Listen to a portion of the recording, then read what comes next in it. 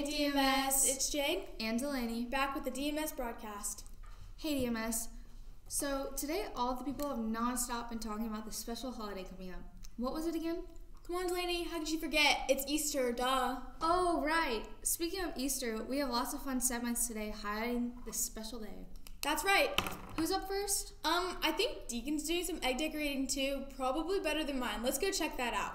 Hey DMS, it's Deacon, and it's almost Easter, so to celebrate, I am going to be making Easter eggs. Those you need is food coloring cups, a pot, eggs, and some water. Alright, so then you want to fill up a pot with warm water and add four eggs to it. Then you want to get the pot on the stove and set it to high and wait for 15 minutes. Then you want to get your four cups and fill it with water and add food coloring. Next, you want to uh, put the eggs in the water and set it there for 10 to 15 minutes. Then you want to take them out and put it on something solid. Hope you learned about my tips and tricks on how to make Easter eggs. Anyways, bye DMS. Hey Jade, did you see Jonah's drawing? Yes, I did. It was really good. I want to learn how to do that. Well, his segment is about doing it, so I guess you'll learn. Yep. Hello DMS, it is I, Jonah. Today I'm going to be teaching you how to draw some eggs. Let's go!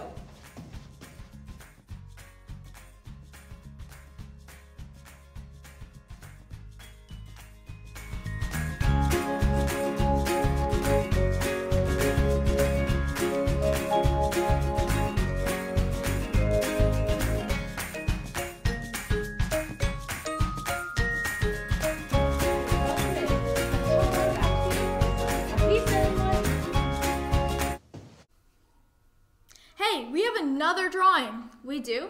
Who is it? Peyton, come on. We've been over this. My bad. Hey DMS, Peyton here, and I thought it'd be a good idea to do a drawing challenge. So we have nine people that are gonna do a Baby Yoda challenge within five minutes, and let's see how they did. Let's head on to it.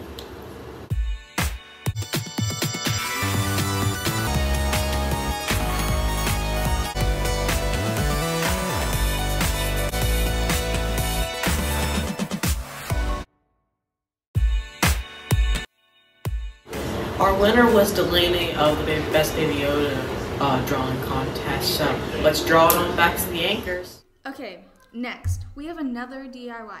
It's a bat. A bat? Yep. Okay, well, let's go see what she makes. Hey DMS, today I'll be making a paper bat for National Bat Day.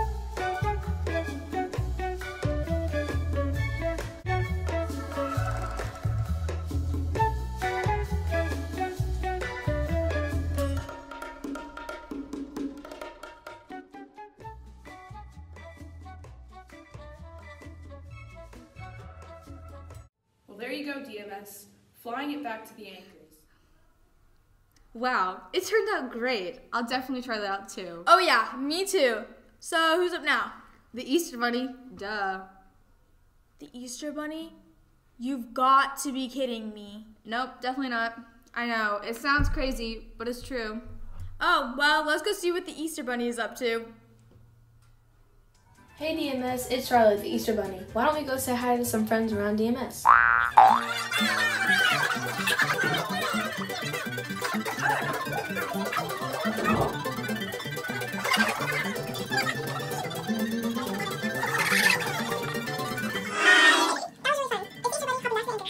See, I told you it was the Easter Bunny. Yeah, yeah, whatever. Let's move on. I heard someone is making some yummy pancakes. Yeah, Julian is. And guess what? Are they Easter themed? How'd you know? Let's go see what Julian is up to. Hey DMS, do you ever want to make pancakes for Easter? I know I have. Let's go make some.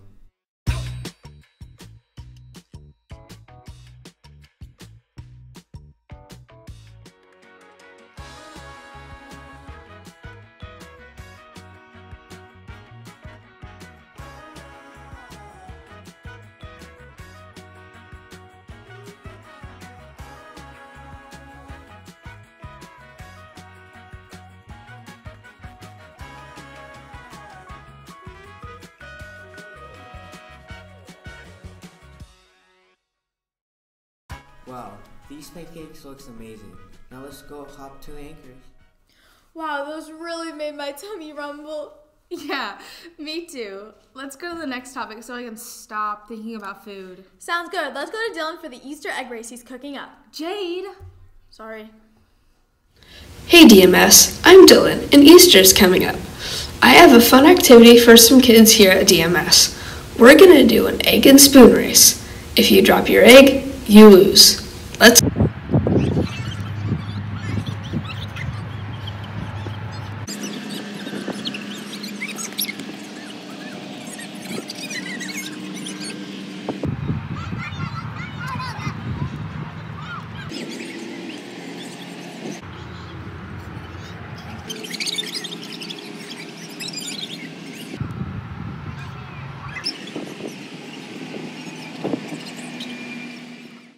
That was so good. Well, let's race back to the anchors. That was fun to watch. Yeah, totally. Man, my hair keeps getting in my eyes. I don't know what to do. Well, your luck. Riley's making some Easter headbands. Really? Oh. Yes. Oh, well, let's learn how to do it then. Yeah. Hey DMS, it's Rylan back with the DMS podcast. Today we're going to make an Easter headband for Easter. The supplies you will need are pipe cleaners, two eggs, a headband, and some hot glue.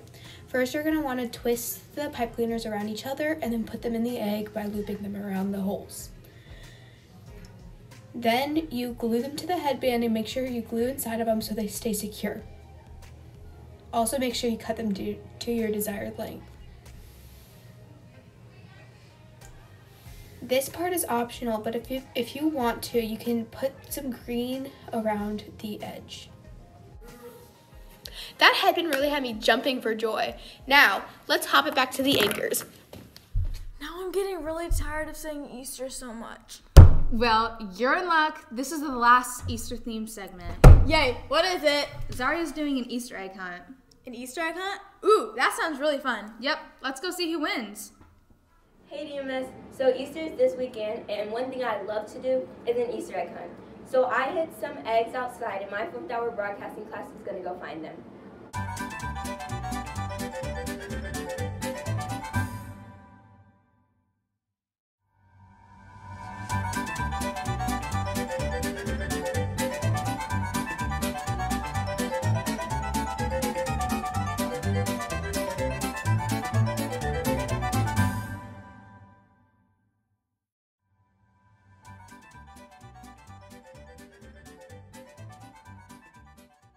Whoa, that was so much fun. I hope you guys have fun with your family this weekend.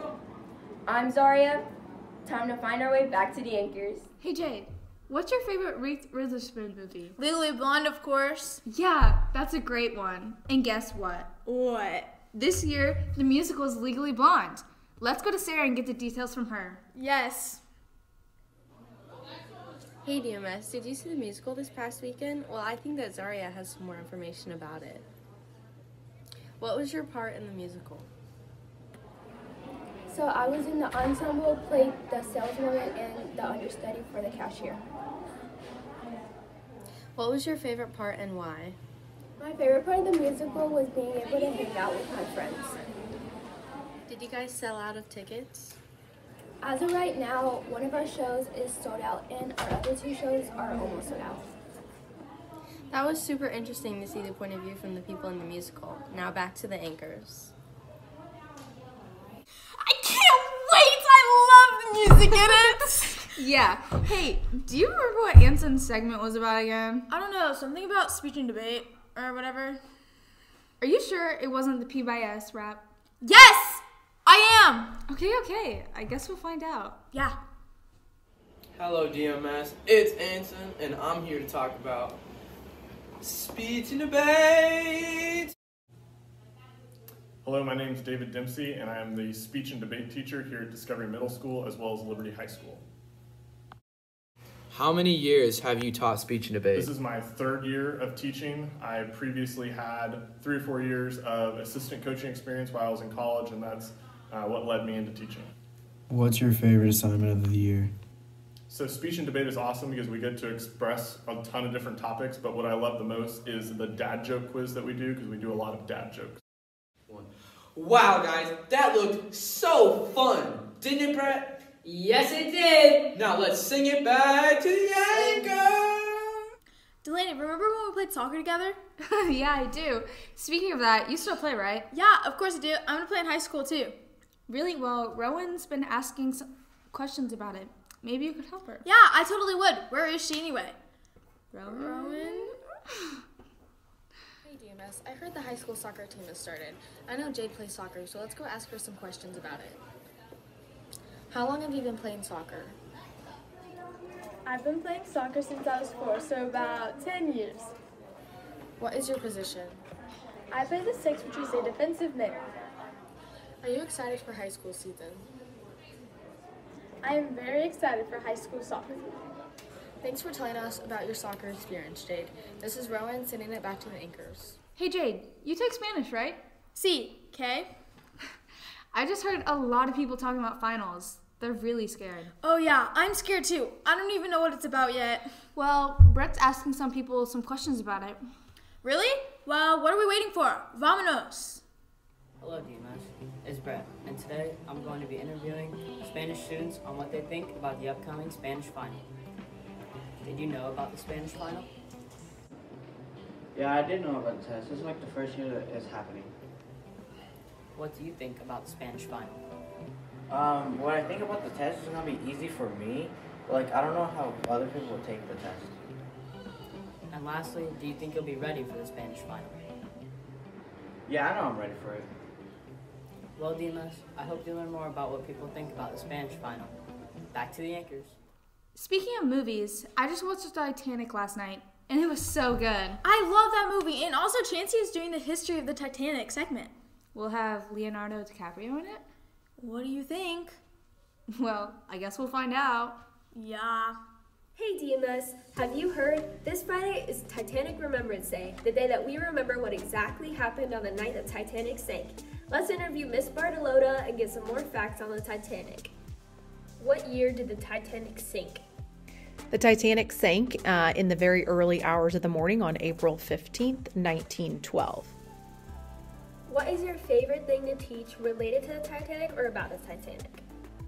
So, the Titanic is not a part of the curriculum in 6th, 7th, and 8th grade at DMS, but Mrs. Ferdine in the library was nice enough to pull together some books if you're interested in learning more about the Titanic. So, there is um, Titanic's Passengers and Crew,